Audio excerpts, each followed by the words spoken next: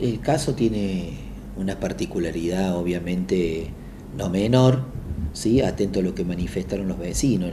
A ver, un grupo de personas esta mañana vino a manifestarse al tribunal, ¿sí? Eh, bueno, allá afuera, no, no de manera violenta tampoco, sino los típicos reclamos obviamente con gritos y este tipo de cosas. Pero bueno, eh, mi deber obviamente es informar esto. Ellos mencionaron, yo estuve conversando con los vecinos, mencionaron una cantidad de denuncias que es la que aproximadamente vos habías dicho recién, pero bueno, lo cierto y concreto y real es que en mi caso en particular yo tengo cuatro denuncias, ¿sí? formuladas en el mismo día prácticamente, ¿sí? las cuales han sido consultadas el día de ayer eh, eh, y fueron realizadas en el transcurso de esta semana, el día de ayer, y bueno, y en razón a ello... Eh, se tomaron las medidas pertinentes para el día de hoy. ¿Cuáles son esas medidas pertinentes?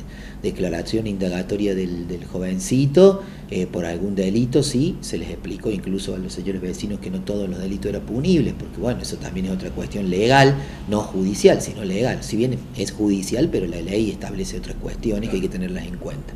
Entonces, bueno, y se tomaron las medidas pertinentes, con eh, la particularidad de que una vez que el jovencito fue obviamente eh, trasladado a este tribunal para la respectiva audiencia, eh, bueno, nos dimos eh, al menos, obviamente, lo que establece el sentido común. Después lo establecerá eso una persona profesional de la ciencia que corresponde, de la psiquiatría, de la sí, al respecto, sobre la situación del joven, pero aparentemente y a simple vista tendría una, una patología bastante compleja desde el punto de vista de la salud mental, ¿sí?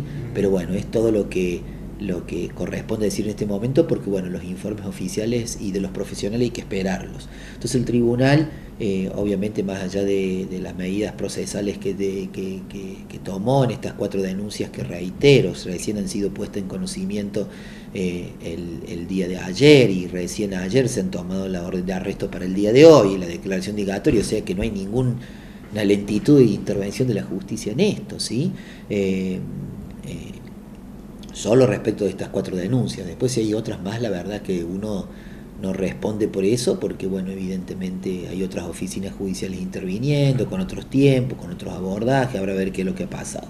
Entonces, bueno, en ese aspecto eh, se han ordenado las medidas para el día de hoy, y bueno, y atento a esta patología que a simple vista surgiría, bueno, obviamente se ha ordenado la la internación del jovencito, no la internación, sino el traslado a un centro, al centro integral de salud, eh, con una custodia obviamente policial en este caso, atento que bueno, es, necesario llevar adelante estos informes psiquiátricos para ver realmente cuál es la situación de salud mental del joven, como reitero, que a simple vista no es tan sencilla aparentemente.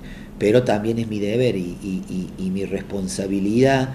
Eh, seria de este caso esperar qué es lo que dicen los informes de los profesionales de las ciencias pertinentes, ¿no?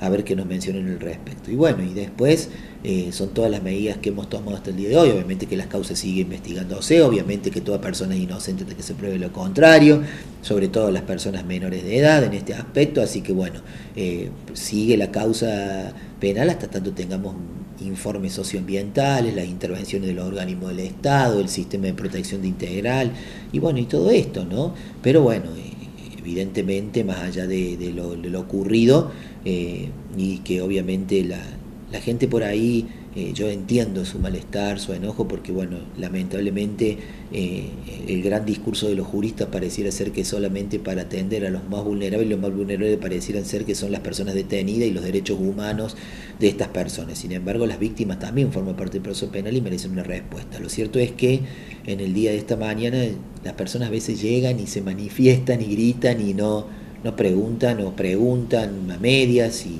si alguien puede atenderlo o no. Y, en mi caso en particular, yo siempre me he caracterizado afortunadamente por atender a todas las personas que me requieren en la medida que uno también puede, eh, eh, en el sentido de que tiene mucho cúmulo de trabajo, somos dos tribunales para nueve de los 16 departamentos, ¿sí? y bueno, y en este sentido, en este caso en particular, estamos trabajando obviamente eh, a destajo en todas las causas, muchísimas causas, pero siempre hemos atendido todo y le hemos tratado de dar una respuesta a todo.